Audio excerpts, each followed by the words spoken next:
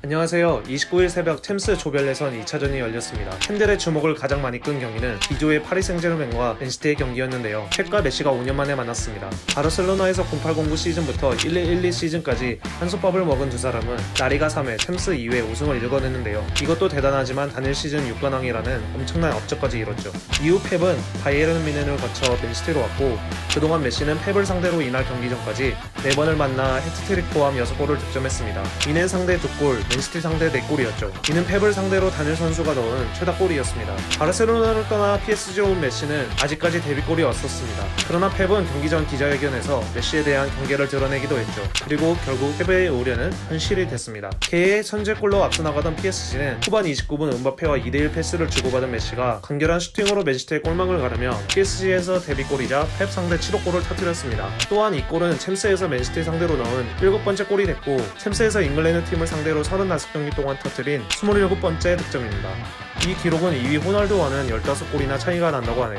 이날 경기 패배로 2018년 9월 리옹전 이후 처음으로 조별 예선에서 패한 펩은 경기 후 인터뷰에서 옛 제자의 득점에 환상적인 골이었다라며 박수를 보냈는데요. 프랑스 매체와의 인터뷰에서는 메시가 잘 되기를 바란다. 그가 파리에서 행복하면 나 역시 행복할 것 같다. 라고 이야기하기도 했습니다. 이렇게 펩과 메시의 5년 만의 맞대결은 메시의 승리로 끝났는데요. 둘의 다음 맞대결은 11월 25일에 열리는 챔스 조별리그 5차전입니다. 과연 펩킬러 메시가 그 경기에서도 어떤 모습을 보여줄지 궁금하네요. 오늘 기록으로 보는 챔스는 여기까지입니다.